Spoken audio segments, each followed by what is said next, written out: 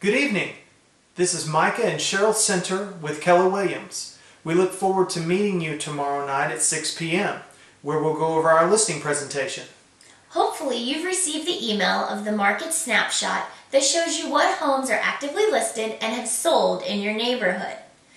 If you haven't had a chance to look it over, take a few minutes tonight to do so, and we'll go over all the information tomorrow evening along with how we plan to market your home.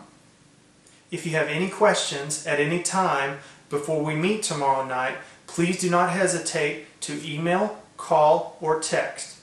See you tomorrow night.